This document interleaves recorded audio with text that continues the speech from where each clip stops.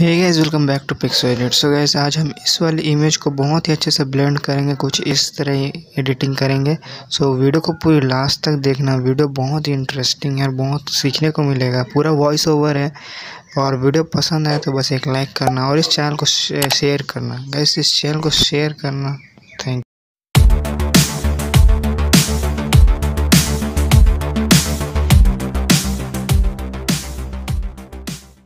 सो Pixar पे आपको ये वाली बैकग्राउंड ओपन कर लेना है। सो डोंट वरी आपको लिंक डिस्क्रिप्शन में मिल जाएगी तो वहाँ से डाउनलोड कर सकते हो।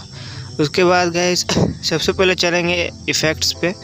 और यहाँ पे ब्लर वाले ऑप्शन पे चलेंगे और सिलेक्ट करेंगे लेंस ब्लर और लेंस ब्लर को अच्छे से एडजस्ट करना है रेडियस हटी रखना है। और लाइटिंग अपने हिसाब से रख सकते हो। फिर उसके बाद यहाँ पे इरेजर टूल पे चलेंगे और जो नीचे का बैकग्राउंड है उसे यहाँ पे हल्के से हम यहाँ पे इरेज करेंगे।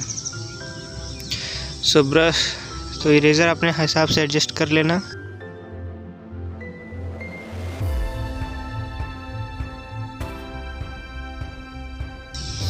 ओके गैस तो अब यहाँ से इसे डन करते हैं।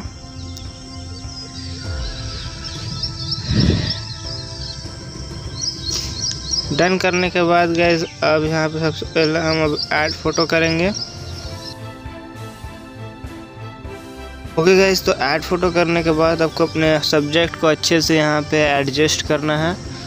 अच्छे से प्लेस करना है और प्लेस कर लेंगे। फिर उसके बाद हमको इसकी एडजस्टमेंट करनी है। क्योंकि देख रहे हो, बिल्कुल मैच नहीं कर रही है बैकग्राउंड से तो हमें इसे मैच कराना है एडजस्ट टूल की हेल्प से।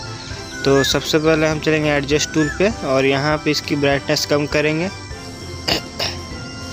और कॉन्ट्रास्ट थोड़ा सा इंक्रीज करते हैं। क्लैरिटी को भी यहाँ पे छोड़ देंगे और यहाँ पे सेचुरेशन को कम करेंगे। हम देख सकते हो हल्का हल्का यहाँ पे बैकग्राउंड से मैच कर रहा है। तो गाइस फिर उसके बाद हाईलाइट्स को थोड़ा सा इंक्रीज़ करेंगे। हाईलाइट्स और साइडों को भी यहाँ पे कम करेंगे। और साइडों को यहाँ पे हल्के से कम करने के बाद टेम्परेचर भी थोड़ा कम करेंगे। और देख सकते हो काफ़ी अच्छे से यहाँ पे मैच हो रहा है हमारा सब्जेक्ट तो अब यहाँ से इसे डन कर देंगे। और डन करने के बाद तो यहाँ पे हमने इसे डन कर लिया अच्छे से। अब हम चलेंगे इसकी सबसे जो मेन पार्ट है लाइटिंग पे। तो लाइटिंग करने के लिए आपको लेयर वाले ऑप्शंस की ज़रूरत होती है तो इसलिए हम आ गए हैं ड्रॉ टूल पे। सो ड्रॉ टूल पे आप देख सकते हो। सबसे पहले तो आप ब्रश जैसे मैं एडजस्ट कर रहा हूँ, उसी तरह एडजस्ट करना है आपको। फिर उसके बाद ब्रश एडजस्ट करने के बाद आपको कलर पिकर करना है। तो होल्ड करना जिस कलर आपको, जैसे कलर आपको चाहिए, होल्ड करने के बाद आपको बस पेंट कर देना है।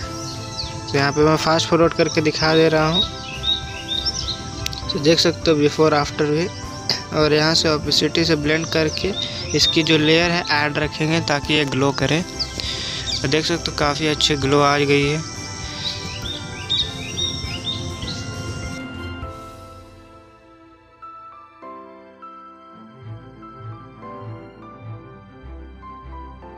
ओके आप तो सबसे पहले इरेज़र को यहाँ पे हम यहाँ पे सिलेक्ट करते हैं। इसे अच्छे से एडजस्ट कर लेंगे और जो एक्स्ट्रा पार्ट है जहाँ पे लाइटिंग हमें नहीं चाहिए ओवर लाइटिंग है, वहाँ पे हम इसे इरेज कर देंगे। और बिफोर आफ्टर देख सकते हो, बहुत ही अच्छा लग रहा है। देख सकते हो, बहुत ही अच्छा एडिटिंग हुआ है। और यहाँ से बिफोर आफ्टर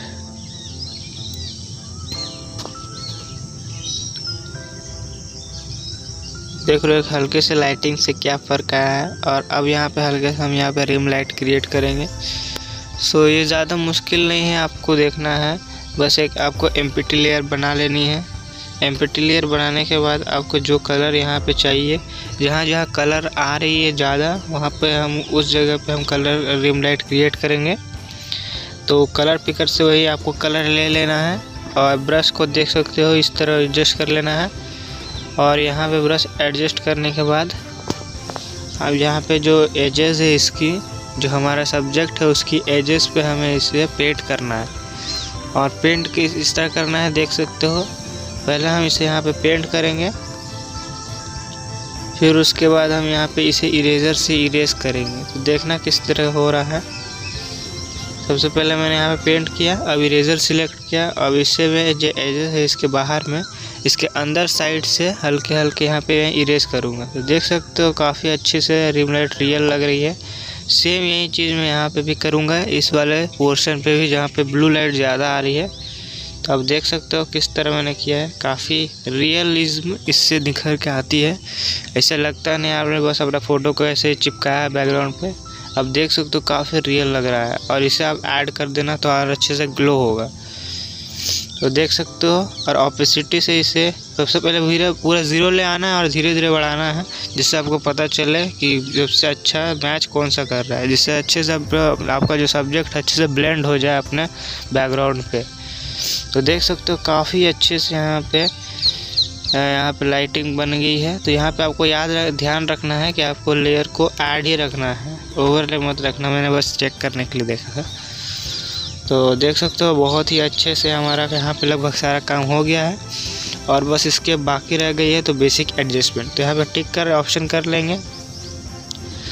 और इसकी बेसिक एडजस्टमेंट बहुत ही सिंपल है तो इसीलिए मैं लाइट रूम पर नहीं जाऊँगा। यही पे मैं आपको दिखा देता हूँ। सबसे पहले बस यहाँ पे हम शार्पनिंग इसकी हल्के से इंक्रीज़ करेंगे तो उसके लिए इफ़ेक्ट्स पे चलेंगे। और इफ़ेक्ट्स पे आने के बाद यहाँ पे शार्पनिंग वाला ऑप्शन यहाँ पे आपको ढूंढ लेना है। तो शार्पिंग वाला ऑप्शन यहाँ पे है। तो यहाँ पे मैंने शार्पिंग ऑप्शन किया। आप देख सकते हो यहाँ पे इसकी टेक्सचर भी थोड़ी सी बढ़ गई है, जो कि काफ़ी अच्छी बात है। सो यहाँ पे अब इसकी यहाँ फेड को यहाँ पे एडजस्ट करना है वो अपने हिसाब से आप कर सकते हो। अब यहाँ से हम इसे डन कर लेंगे। और गैस यहाँ से डन करने के बाद इसकी थोड़ी सी एडजस्टमेंट करेंगे। सो लाइट रूम में बहुत ही सिंपल है, लेकिन लाइट रूम में इसकी ज़रूरत नहीं थी तो मैंने नहीं किया। और भी अच्छे से कलर निखारने के लिए आप कर सकते हो लाइट रूम पर लेकिन आप, मैं इसमें यहीं पे दिखा दे रहा हूँ। ये भी काफ़ी अच्छे से एडजस्ट यहाँ पे कर, हो जाएगा। देख सकते हो यहाँ पे हाईलाइट्स यहाँ पे शेडो को यहाँ पे हल्के से कम करते हैं, और टेम्परेचर को भी यहाँ पे हल्के से कम बढ़ाएँगे। और गाइज़ ये सब होने के बाद यहाँ पे डन कर देंगे। सो so गाइज़ अगर आपको वीडियो पसंद आए तो बस एक लाइक कर देना। और इस चैनल को सब्सक्राइब भी ज़रूर कर देना। सो so, देख सकते हो हमारा फ़ोटो बहुत ही अच्छे से कंप्लीट तैयार हो गया है।